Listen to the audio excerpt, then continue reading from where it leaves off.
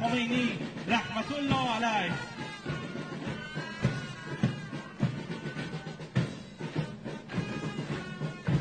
تا لحظات دیگر شاهد رژه بورانهای نمونه رژه رونده گروه توپخانه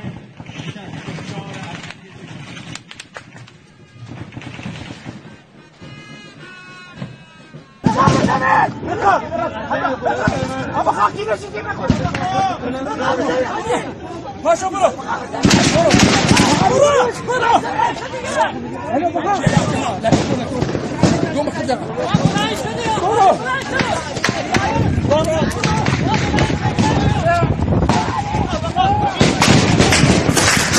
بخاف بخاف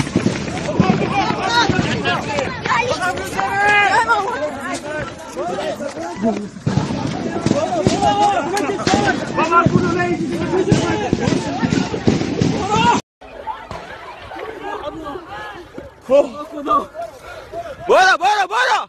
بخواب. بخواب بخواب بخواب. مهدی بخواب. بخواب مهدی. اوه. از بیرون. از پشت جا.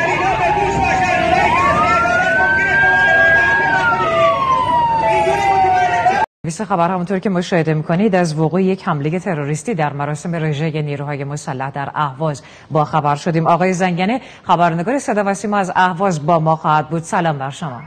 به نام خدا با سلام خدمت تمامی بینندگان عزیز و ارجمند شبکه خبر.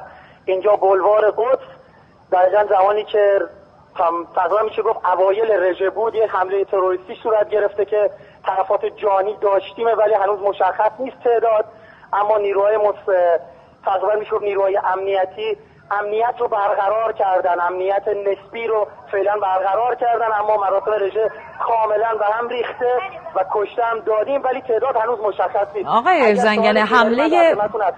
حمله تروریستی به چه صورت اتفاق افتاده؟ به صورت تقریبا میشه گفت استیج یا همون محل برگزاری رژه. پشت اون یک پارک قرار داشته. از توی پارک متاسفانه این افراد شروع به تیراندازی کردن که با صد محکم نیروی امنیتی برخورد کردن اما متاسفانه تلفاتی داشتیم ولی هنوز آمار مشخص نیست همونجوری که من بهتون گفتم. بسیار خوب. پس تا دقایق دیگر اگر که خبرهای تکمیلی در این باره به دست ما رسید باز هم به اطلاع بینندگان عزیز خواهیم رسید.